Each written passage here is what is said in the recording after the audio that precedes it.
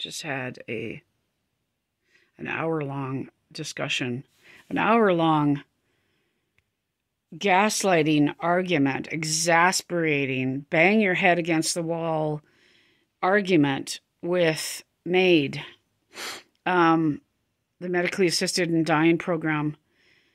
I want accountability for how I was gaslighted, uh, 100% gaslighted by them.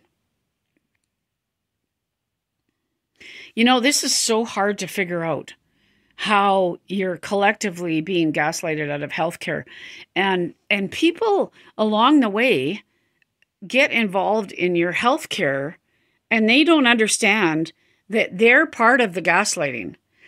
People with rare conditions, rare diseases, uh, rare condition, rare medical conditions, and you're not get you're being gaslighted out of healthcare and then other people will come along and be part briefly part of your healthcare.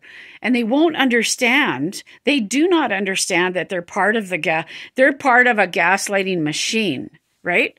They're part of the uh it's it's disrespect it's mistreatment it's it's harmful it's abusive to gaslight and refuse healthcare. And there are people unknowingly unknowingly involved in this and uh, and unknowingly part of the mistreatment of rare rare disease patients. And I, I, I want accountability. I didn't I was confused and I didn't understand what happened when MAID came into my home. I don't want to die. I wanted to apply for MAID to light a fire under my doctor's butts to try to fight to get me health care. That was my objective in applying for MAID. And this doctor came into my home and it was 100% gaslighting, and I couldn't understand what happened. He refused to talk to me about my health issues. Got him in so much pain.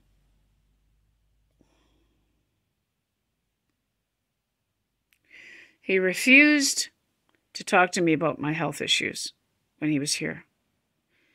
That's not normal.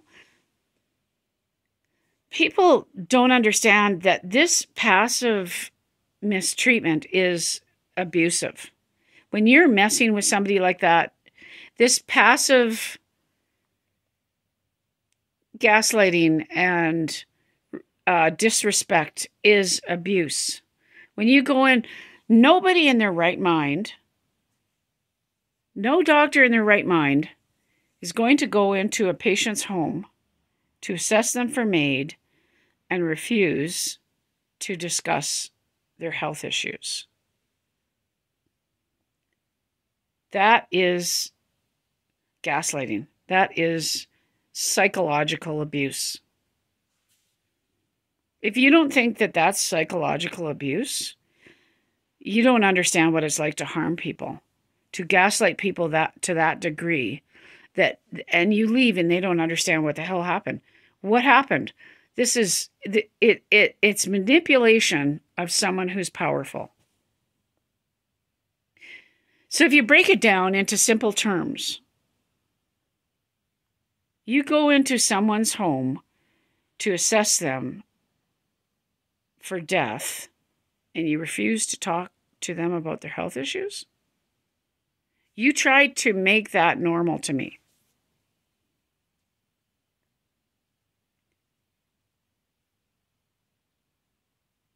And they want you to think that that makes sense. Like that's abusive. That's psychological abuse. So, and, and, and you know, I had, I had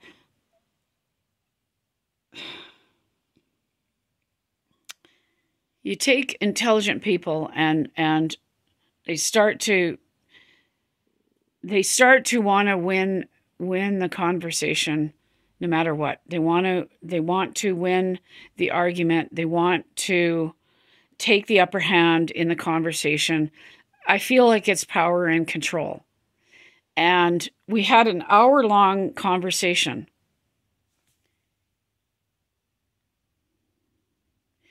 And they want to make you think that you're wrong. I want someone to explain to me how that is normal or how that makes sense. A man coming in here, a medical doctor, to assess my situation while refusing to speak about my health, him refusing to speak about my health, and him explicitly telling me, I do not want to hear about your health issues.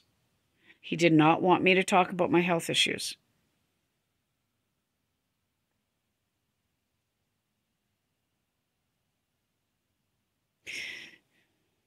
So I think what happened, and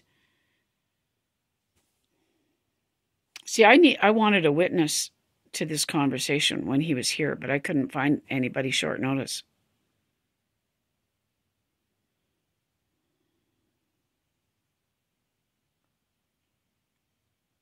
And I do have a copy of that conversation. I want a copy of the report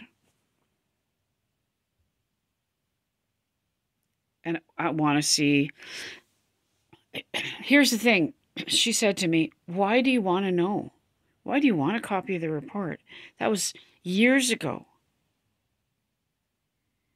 Okay, like listen to this language, listen to this rationale. Uh it wasn't years ago, it was a couple years ago. It was like 2 years ago. Maybe 3. Why do why do you even want to know?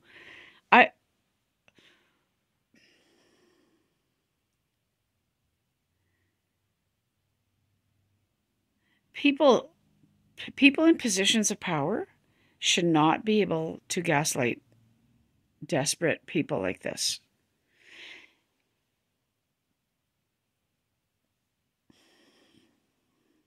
God, I'm so sick and I had like less than 3 hours of sleep.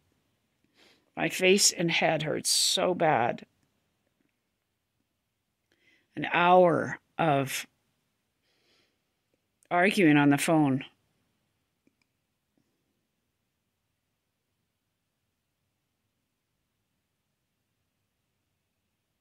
Why do you need to know? I want accountability. And I also said, like, this reflects poorly on MAID.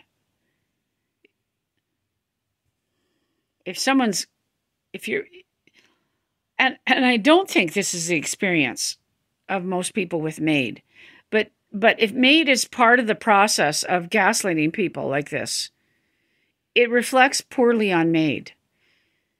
What I think happened is that this do- and see there shouldn't be this di- this disconnect. This doctor refusing to talk to me about my health issues. There shouldn't be that level of disconnect. That this doctor ref- Okay, so what I think happened is he came into my home. He, he looked at my health records. And you're you have no idea what's as a Canadian, you have no idea what's in your records, what's not in your records. You have no idea all the derogatory comments in your records. He looked at my medical records and I think none of my health issues are in my medical records. That's the disconnect. and then he comes here, he refuses to talk about my health issues. That's a disconnect. Why would any doctor refuse to talk to you about your health issues? Why disrespect people like that? She wants to know why why do you want a copy? Why I want to see the disrespect on paper. People shouldn't be continually turned away and disrespected like this. It's it's with one provider and another provider and another provider and another doctor and another doctor and another doctor. And the people who are suffering like me do not see those reports. And for them to say, "Well, why do you want to see a report?" It was years ago. Because I'm suffering. Because I'm suffering and you're part of the process. You're part of the gaslighting somebody out of care whether that be health care or death care. You're part of the process of harming a patient. If you're going into someone's home and refusing to talk about their health issues, you're harming the patient. And walking away and writing a report that's probably totally misrepresentative of the misrepresenting the situation. You're adding to the harm. If you're writing a report that that misrepresents the person's situation, you're adding to the harm. Chronically ill patients, chronically sick people, rare disease patients are being gaslighted out of care. Our health, our voices are not being heard. We're not getting the care that we need. And if MAID is adding to this, to the harm, then we need to talk about it. If MAID is helping part of the harm, just one more, it's all collective harm. It's collective, collectively gaslighting people out of healthcare. It's disrespectful. It's wrong.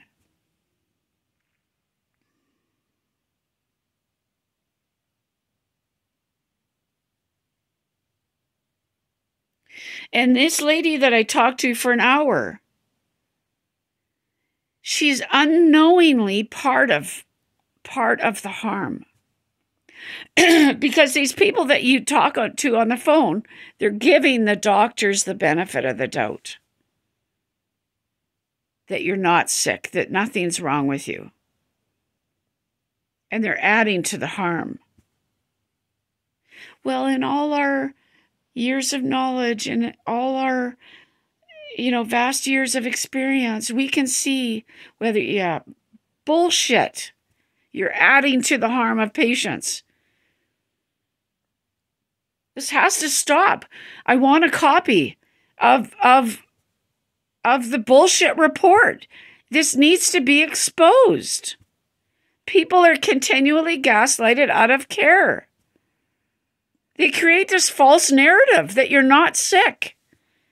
I've had brain MRIs during the pandemic. You don't get.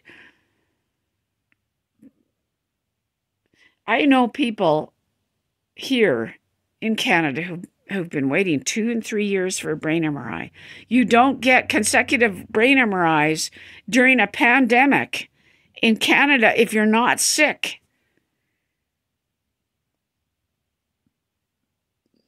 Literally. We need to expose this collective, chronic gaslighting, expose the paper trail of how this is being done to people. And people are involved in gaslighting and harming people, and they don't even realize that they're part of the harm.